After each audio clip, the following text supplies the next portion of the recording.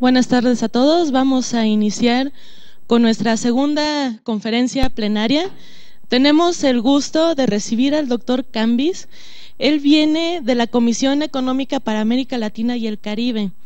Si ustedes recuerdan, este año la Escuela Superior de Economía firmó un convenio con la CEPAL en la cual se permite que tanto investigadores como académicos puedan tener eh, intercambio de ideas en foros, pero también se permite eh, estancias de investigación y publicaciones conjuntas. Les menciono esto porque considero que es importante que pues, le demos seguimiento a ese convenio y que aparte pues lo aprovechemos. Entonces, parte de ese aprovechamiento lo tenemos aquí con el doctor Cambis, que nos viene a presentar su trabajo, Panorama de la Inserción Internacional de América Latina. Y bueno, pues además de recibirlo con un fuerte aplauso, nos da mucho gusto recibirlo aquí, doctor. Por favor. Pues sin más preámbulo, adelante. Bueno, buenas tardes y muchas gracias al Instituto por la invitación. Voy a presentar un estudio coyuntural que hemos preparado recientemente en la CEPAL eh, sobre las perspectivas del comercio internacional en la región de América Latina y el Caribe. Bueno, primero un, un poco de información sobre la CEPAL. Es una de las cinco comisiones regionales de las Naciones Unidas.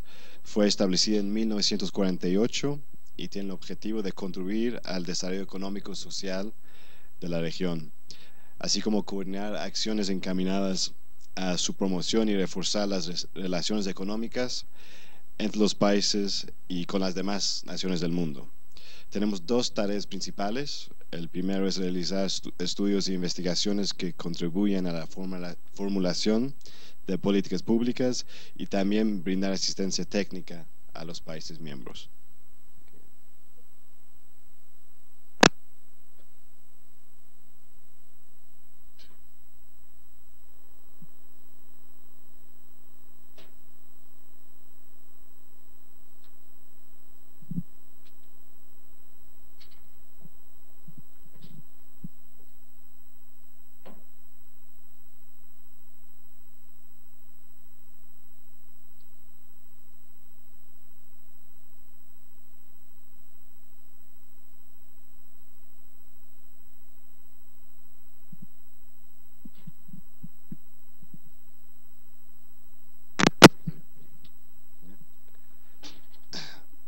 Bueno, los principales temas del estudio. Eh, el estudio se compone de tres capítulos. Eh, en el primero analizamos la evolución reciente de la economía mundial, constatando una recuperación que, sin embargo, tiene lugar en un contexto de fuerte incertidumbre en los planos macroeconómico, tecnológico y geopolítico. Asimismo, abordamos en detalle el desempeño reciente y las perspectivas del comercio eh, de la región latinoamericana y caribeña que vuelve a crecer en 2017 tras cuatro años de caídas en su valor. En el segundo capítulo analizamos en detalle el desempeño de la región en el comercio internacional de servicios y en particular de los denominados servicios modernos, que están asociados al uso de las tecnologías, la información y comunicación. Se constata que la región es aún un actor marginal en el comercio de servicios en general y de servicios modernos en particular. Y para evitar esa situación se requiere un conjunto de políticas públicas activas en varios fuentes, frentes. Perdón. Eh, finalmente, el tercer, tercer, capítulo aborda la participación de la región en el comercio agropecuario mundial. Aquí son algo más alentadores que en el caso de los servicios desde un punto de vista cuantitativo. La región en su conjunto es un exportador agrícola neto y su participación en las exportaciones, agrícolas mundiales es más del doble de su participación en las exportaciones mundiales de bienes. Sin embargo, la canasta exportadora regional sigue estando dominado por productos básicos con un bajo grado de elaboración, básicamente materias primas. Al igual que en el caso de los servicios, para evitar, revertir esa situación se requieren políticas industriales más activas en el marco de alianzas público-privadas. Bueno, se observa una recuperación del comercio mundial en 2017 Sin embargo, dicho eso, el comercio mundial de bienes ha perdido fuertemente dinamismo tras la crisis económica mundial de 2008-2009, como se ve. Mientras entre 2000 y 2007 su volumen creció un promedio 6% anual, entre 2012 y 2016 lo hizo solo al 2% anual. Y en este último año, en 2006, se expandió apenas un 1.3%. Como, como, como correlato de ello, mientras en el primer periodo la expansión del comercio fue en promedio 1.7 veces la del PIB mundial, ahí se ve, entre 2012 y 2015 ambas variables crecieron al mismo ritmo y en 2006 la tasa de crecimiento del comercio fue inferior a la del PIB. Los tres principales factores que explican la debilidad del comercio mundial en la post-crisis son el bajo dinamismo de la demanda global, un menor ritmo de expansión de las cadenas globales de valor y una menor liberalización comercial e incluso un aumento de proteccionismo. Entre estos tres factores, la persistente debilidad de la actividad económica global es el principal factor detrás de la aceleración del comercio. Ahora, sin perjuicio de este cuadro de menor dinamismo post-crisis, las proyecciones más eh, recientes apuntan a una recuperación del comercio mundial más robusta que la prevista a comienzos de este año.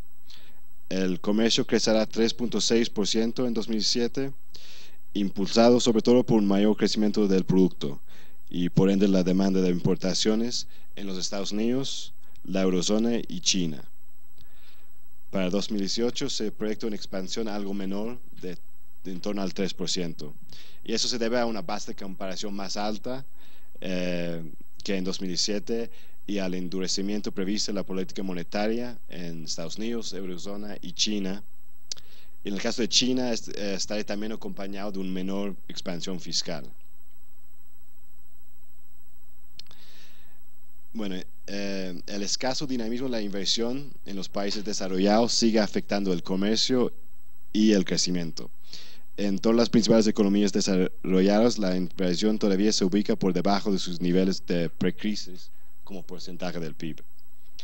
La participación de la inversión en el PIB también muestra una tendencia descendente en las principales economías del grupo de los países BRICS, con la única excepción siendo Rusia. Este bajo nivel de inversiones afecta negativamente a las importaciones de sus países.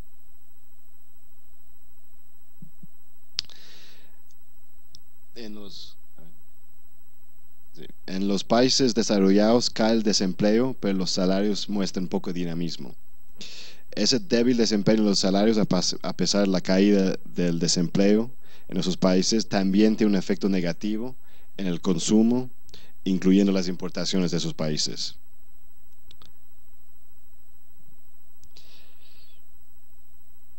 Ahora, un factor importante es que China sustituya, ha empezado a sustituir sus importaciones por insumos domésticos, lo que ha restado dinamismo a las cadenas globales de valor.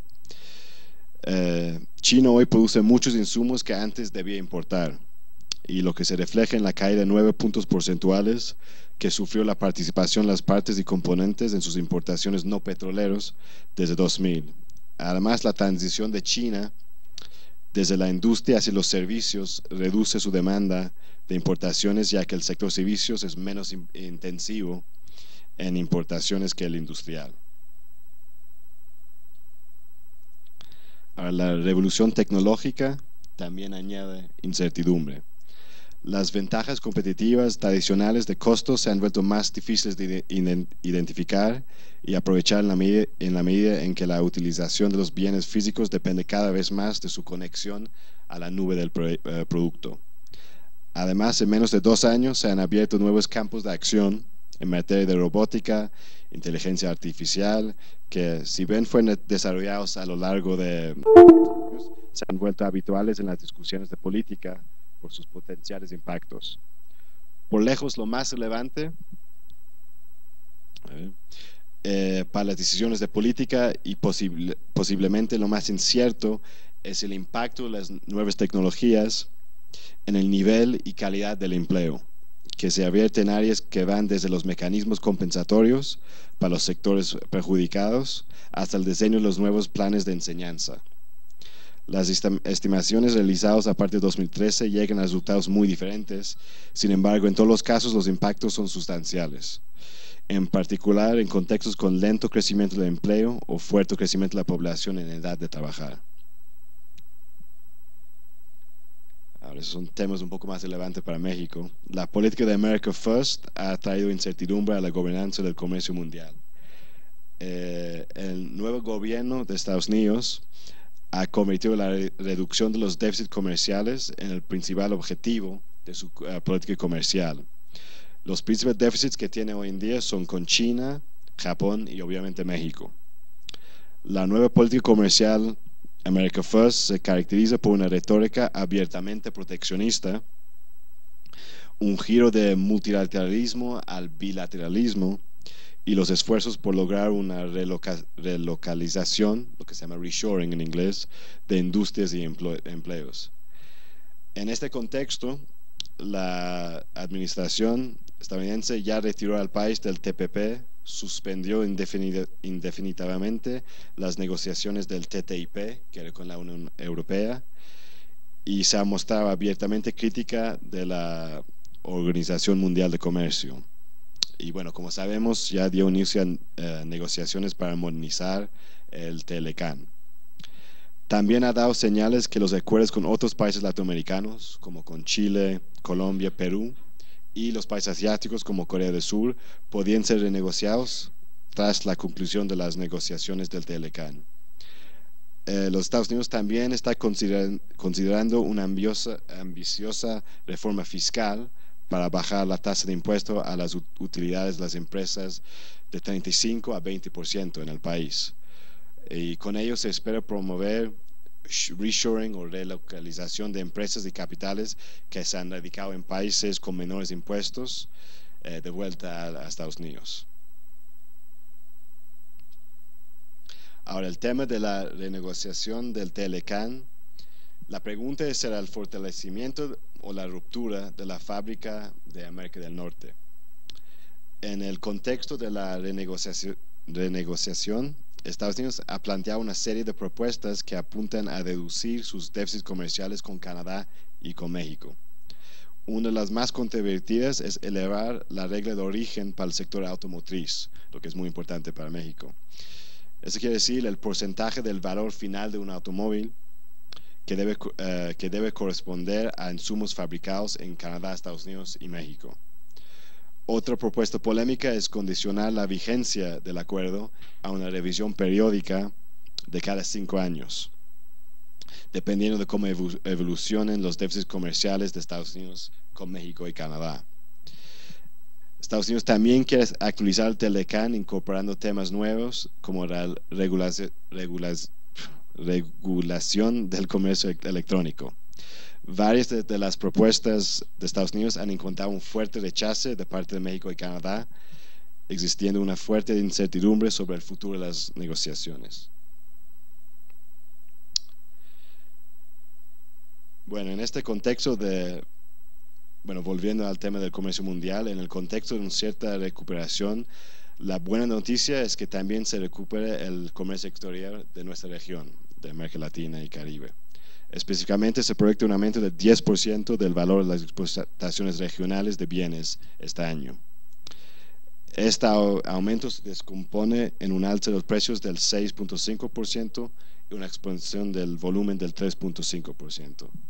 De este modo, la región deja atrás media década de caídas en los precios, precios de su canasta de exportación y de un escaso aumento del volumen exportado. Las importaciones regionales también se recuperan tras cuatro años también de bajas en su valor. Para el 2007 se proyecta que crezca en un 7%.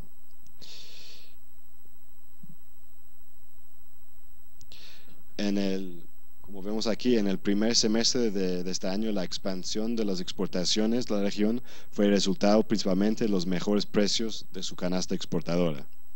Esto contrasta con lo ocurrido en Estados Unidos, la Unión Europea y las principales economías asiáticas, en los cuales el crecimiento de exportaciones obedeció principalmente al aumento de los volúmenes exportados. Con eso se confirma que el desempeño exportado de la región sigue siendo muy vulnerable a los vaivienes los precios los commodities.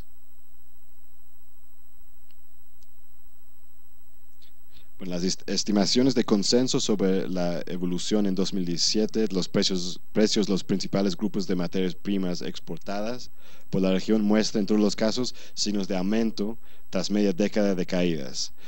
Las mayores alzas se proyectan para los minerales y metales y los productos energéticos.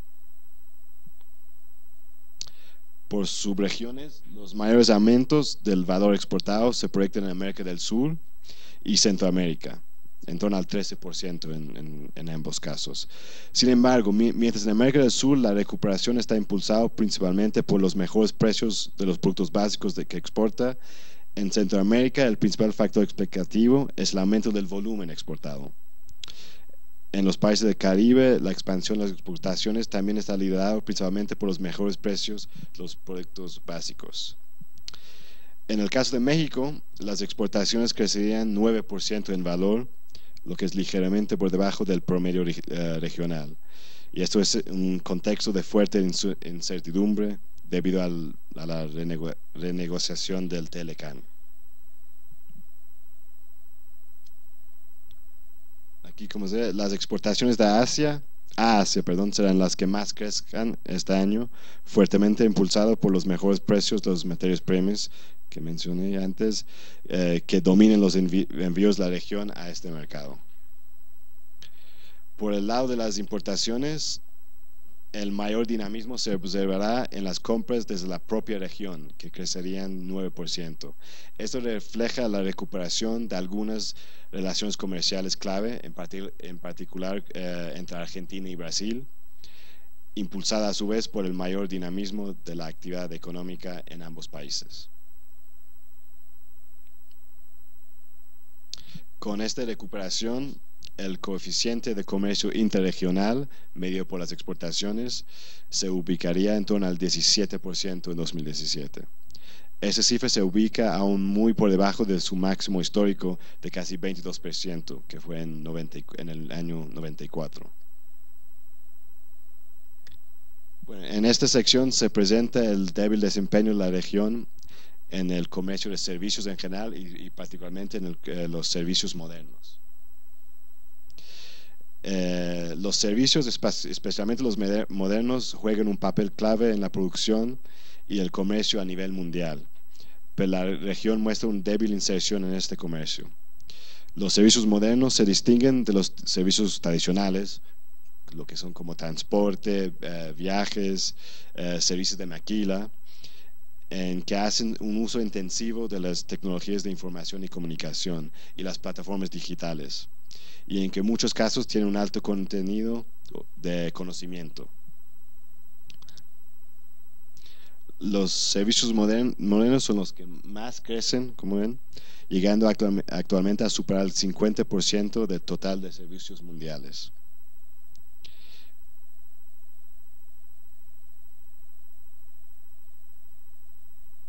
Sí, la región tiene una cuota de mercado inferior en las exportaciones mundiales de servicios modernos que en las exportaciones mundiales de servicios en general. Hasta el 2014, el déficit de comercio de servicios modernos aumentó por un mayor crecimiento de las importaciones en este rubro, lo cual se revirtió en 2015 por menores eh, importaciones. Eh, la región mantiene un patrón exportador concentrado en servicios tradicionales, eh, sobre todo el servicio, se nota como viajes aquí. El eh, peso de los servicios modernos en la exportación de servicios en la región es de solo 28%, mientras que en las exportaciones mundiales de servicios estos pesan el 50%.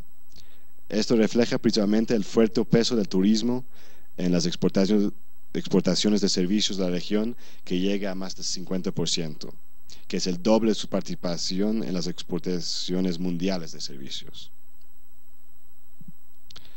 Eh, los servicios modernos son relativamente más importantes en Centroamérica y el Caribe, sobre todo Costa Rica y algunas islas caribeñas, como se ve ahí.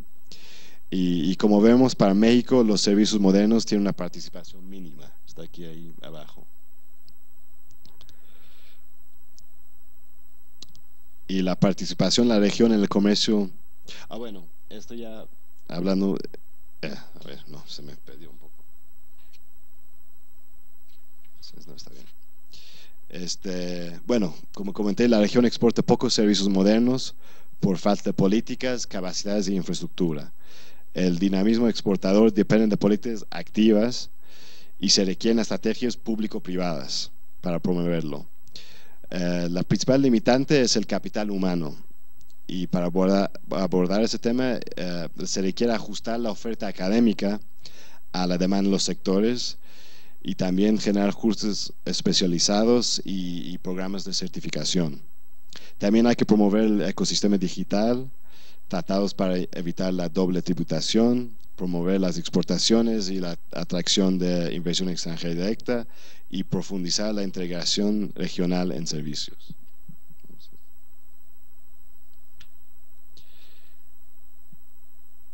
Bueno, la participación de la región en el comercio agropecuario mundial muestra resultados un poco más alentadores que en el caso de los servicios. Sin embargo, como eh, veremos a continuación, la canasta exportadora regional sigue estando dominada por productos con un bajo grado de elaboración.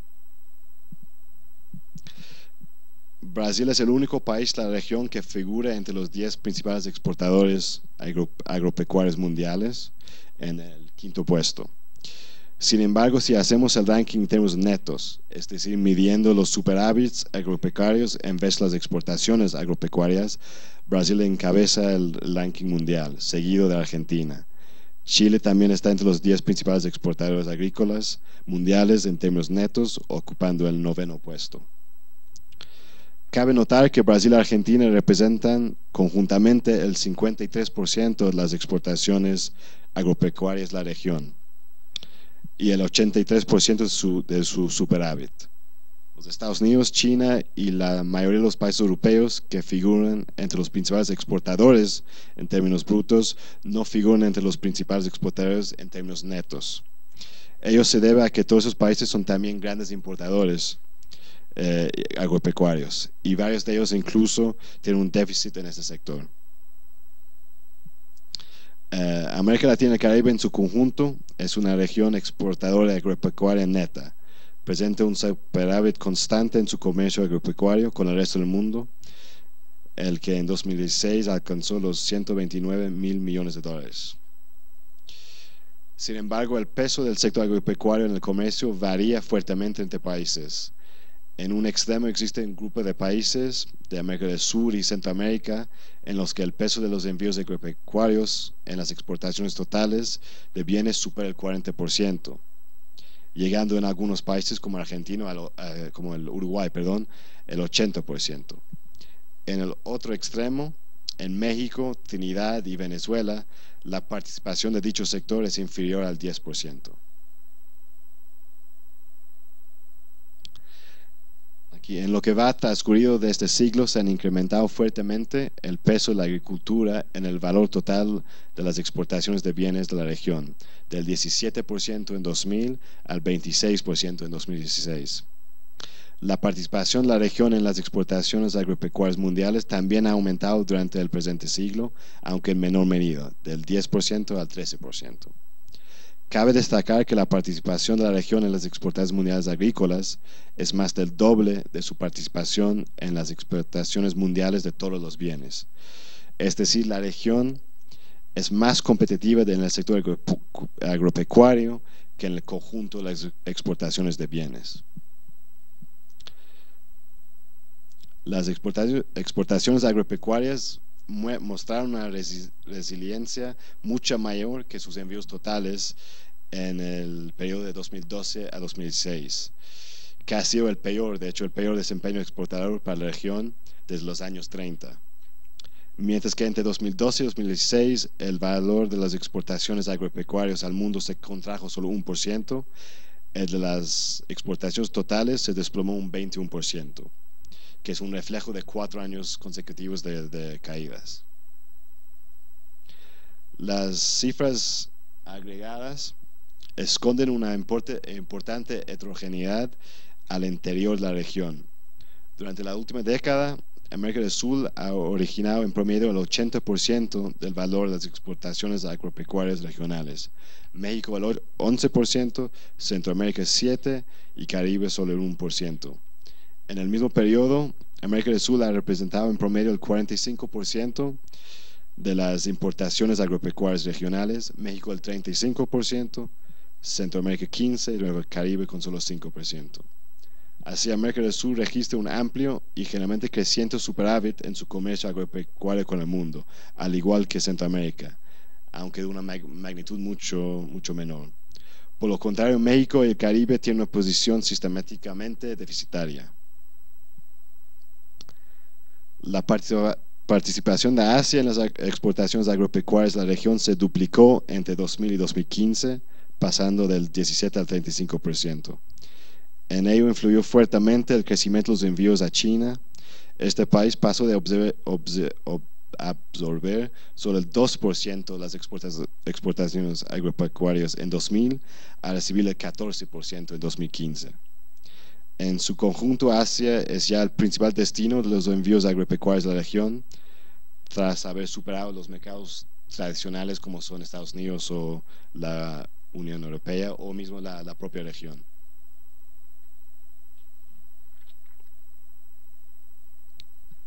En el caso de las importaciones agropecuarias, Estados Unidos sigue siendo el principal proveedor regional con una participación del 43%, seguido la propia región con 33%. Y este es un patrón que ha sido relativamente estable los últimos 20 años. Eh, sin embargo, la importancia relativa de ambos proveedores varía ampliamente entre los distintos subregiones. Mientras Estados Unidos es el proveedor dominante en México y el Caribe, en el caso de América del Sur es la propia región.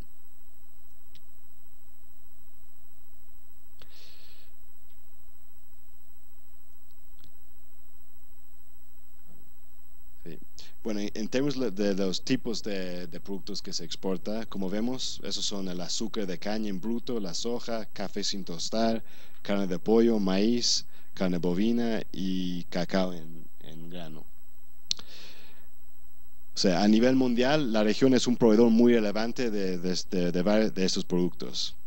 Pero como vemos, esos son principalmente productos básicos con un muy bajo grado de procesamiento.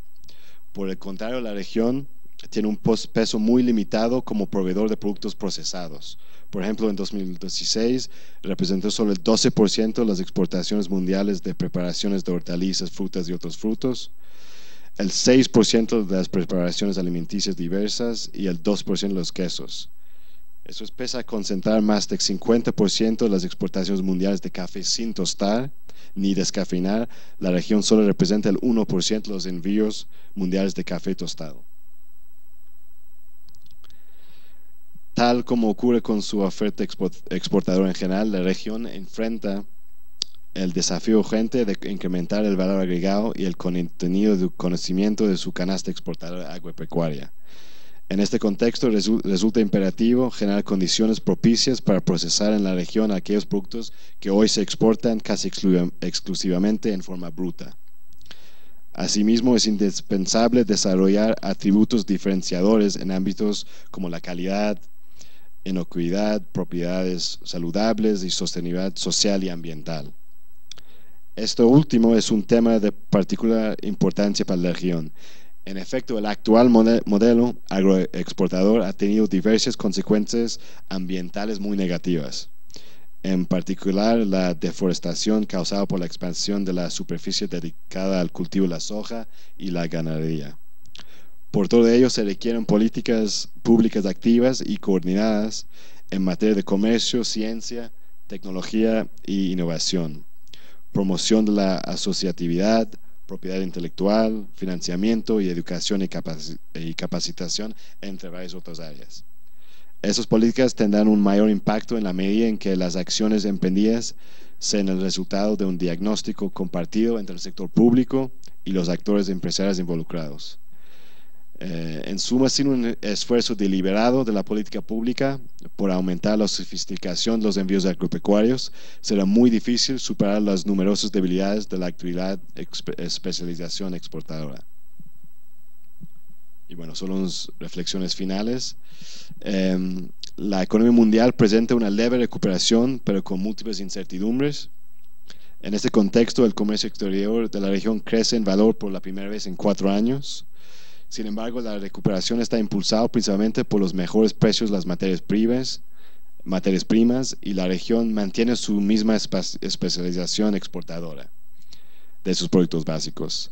Se resalta además en el comercio de servicios modernos. En la agricultura es un juego global, pero principalmente en productos básicos sin elaboración. Y para enfrentar estos, estos temas se requieren políticas públicas más activas y alianzas pública-privadas para avanzar hacia una canasta exportadora más sofisticada. Gracias. Muchas gracias.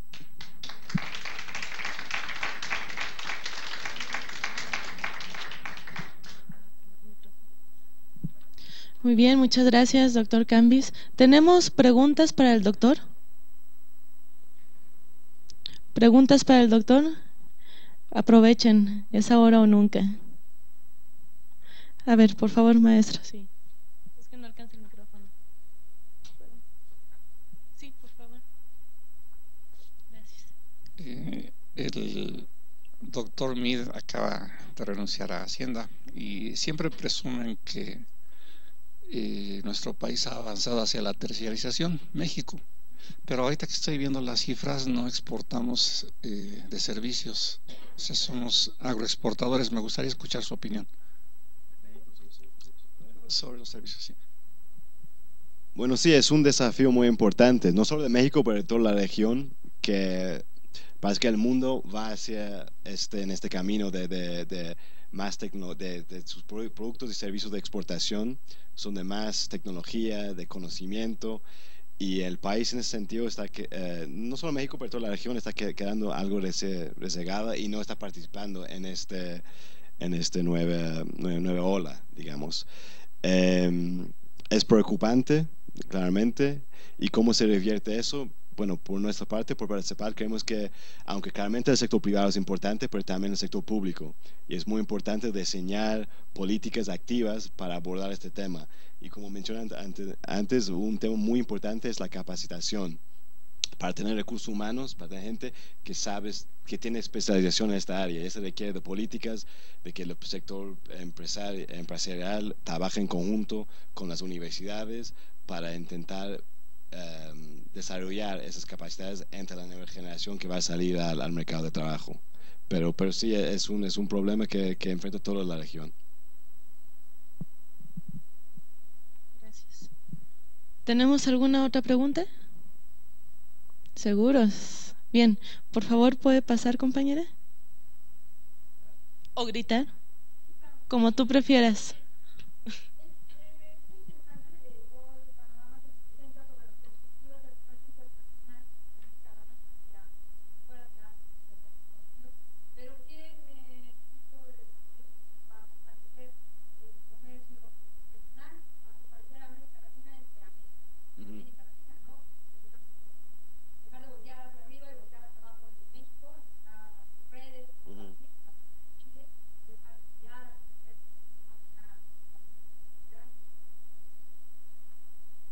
Sí, es, es, un punto muy importante. De hecho, es algo que hay que destacar. Por ejemplo, este año eh, las exportaciones a la región que más va a crecer es dentro de la propia región.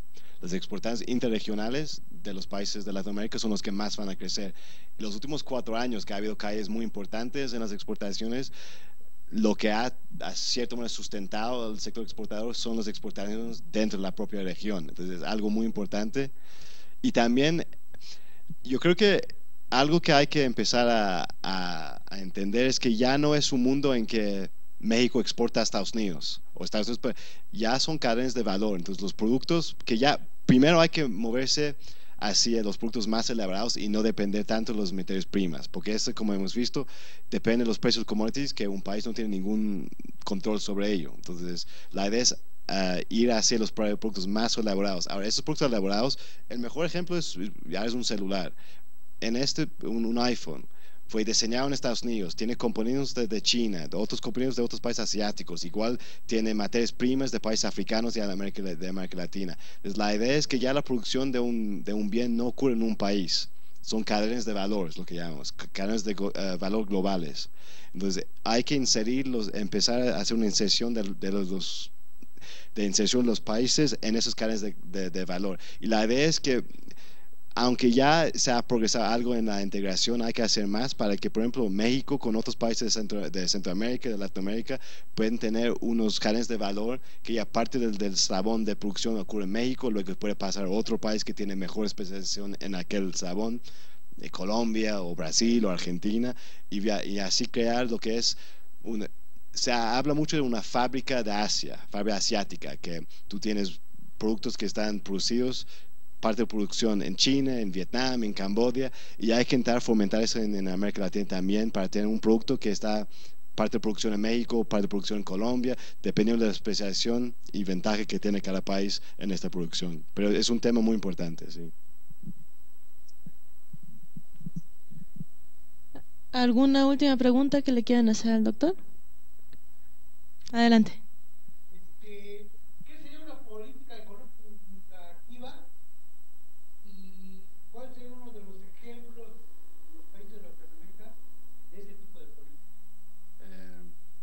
Bueno, yo diría que en, en, general hay pocos ejemplos porque no ha sido un tema que se ha abordado de manera muy profunda en la región hasta ahora por los gobiernos. Pero, por ejemplo, sería sentar, o sea, juntar el sector empresarial, el sector público, el, sector educativo y hablar y pensar que, bueno, cuáles son las necesidades de aquí 5 o 10 años en términos de producción, qué tipos de, conocimientos hace falta para que hacer competitivo eso, nuestro, nuestro país, digamos bueno, yo no soy latinoamericano, entonces es vuestro país, digamos. Em, y eso sería identificar lo que son y trabajar con, con, con, el sector educativo, que bueno, vamos a desarrollar programas para que en 5 o 10 años tengamos un, un, grupo de gente muy bien calificado y especializados en los temas que se requiere por el lado del sector empresarial. Entonces, son esos tipos de cosas de haciendo vínculos entre, entre sectores distintos. Eh, por eso también las alianzas públicas privadas son muy importantes. A veces, por ejemplo, puede ser que las inversiones requeridas para empezar, un para empezar a, producir en un cierto sector son demasiado altas para, para una empresa para hacer. Entonces, en eso puede estar en conjunto con el gobierno que sí puede hacer las inversiones para que ya empezar a desarrollar una cierta actividad o una producción en un cierto sector. son esos tipos de, de alianzas y cooperaciones y colaboración que tiene que, que empezar a entre los sectores públicos y eh, privados y sector eh, educativo también.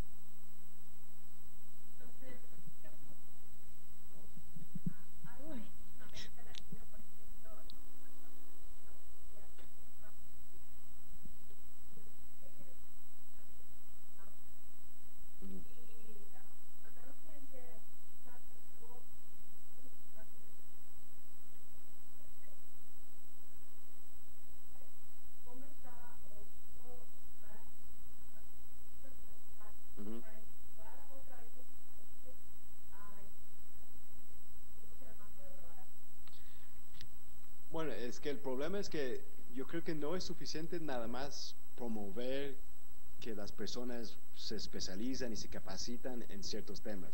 Hay que, seguramente sí, en, en sus mismos países hay, hay demanda para sus capacidades, seguramente esta gente no va a ir a otros países, pero se van porque ven que en su país no hay esta demanda. Pues la idea es que es justamente eso, no es suficiente nada más trabajar con el sector educativo para desarrollar gente, hay que trabajar en conjunto con el sector empresarial, empresarial sector privado, para que haya empresas que, que, empiecen a trabajar en esos sectores para poder demandar ese tipo de, conocimiento y capacidades que uno está desarrollando. Porque no sirve para nada, es verdad, invertir en capacitar, capacitar a gente si luego ellos, bueno, sirve para ellos, pero digo para el país, para que se pueda desarrollar si ellos van a otros países. Y, o sea, a un lado es entendible, si uno ve que en su propio país no hay oferta, no hay demanda por las capacidades que tiene, va a ir buscando otro lugar. Entonces, el desafío es eso, es en crear esta demanda y se hace a, partir de esa colaboración entre los sectores distintos.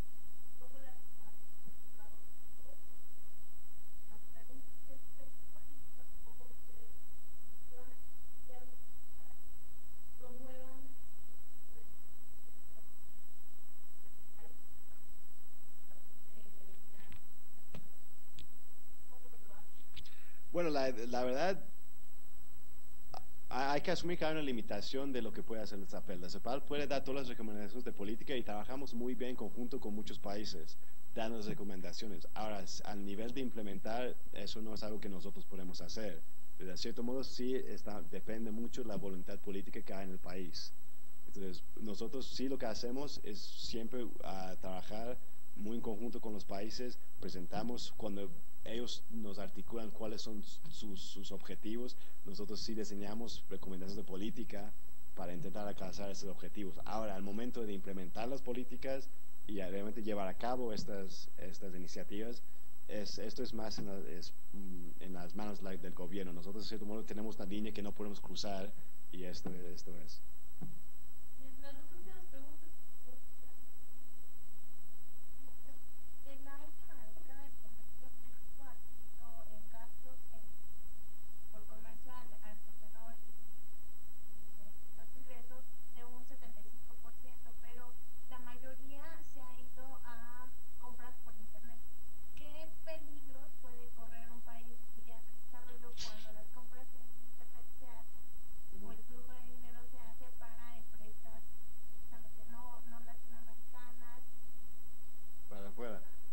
Bueno, sí, ese es muy ligado a la, pregunta anterior, porque, bueno, México es un caso un poco distinto, porque México sí se exporta mucho producto manufacturero, que no es el caso de otros países. Ahora, un tema central es cuánto es el valor agregado doméstico de estos productos.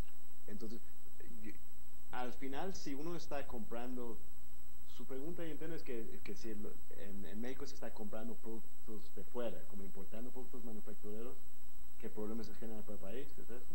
Ajá, sí, exacto. Bueno, eh, en eso es. Yo no veo que hay un problema particular en que compren de fuera, siempre que también están vendiendo para afuera productos. Esto, esto es el, el, reto. Y aunque en México tiene un desafío, yo creo que muy particular, porque sí ha conseguido cambiar su matriz exportador. Sí exporta mucho producto manufacturero. Yo creo que 80% de lo que exporta México es producto manufacturero. Pero el problema es cuánto de este es valor, valor agregado doméstico. Cuánto es conocimiento y tecnologías nacionales que está usando. Y la verdad, la, la cifra es muy, muy baja. A cierto modo, lo que se está haciendo es importar la tecnología, a cierto modo usando lo que es mano de obra más barata que hay por Estados Unidos para, para asemblar y luego exportar de nuevo. Ahora, la verdad, para inserirse en un mundo de cadenas de global, global, cadenas globales de valor, de tecnología y conocimiento, no es la manera de hacerlo. Hay que empezar a, por ejemplo, si vemos una producción en varios eslabones, los eslabones más tecnológicos están ocurriendo fuera de México los eslabones más de nada más hacer un trabajo más nada de obra, nada más de asemblar, esto sí está ocurriendo en México. Pero el desafío es que no solo hacer eso, pero también añadir valor agregado doméstico en esos eslabones que, se hace eso, que esos ocurren también en México. Entonces, México es un caso distinto, pero sí es un poco engañador porque uno piensa que un país que exporta 80% manufacturero está muy bien. Y la verdad, eh, no es suficiente nada más exportar sus productos, hay que mirar qué tipo de producción está ocurriendo. Y hasta ahora ha sido mayoritariamente de, asemblaje porque la mano de obra es más barata aquí que en otro lugar. Y para desarrollar como país hace falta hacer mucho más que solo eso.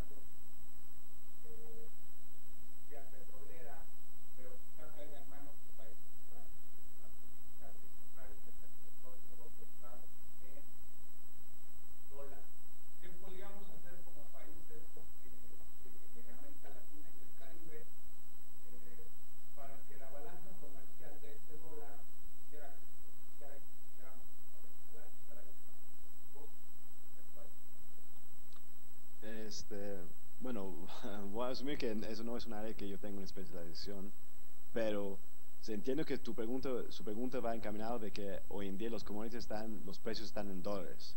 Y la pregunta es que sí se puede empezar a cambiar eso y que sean denominados en otra manera.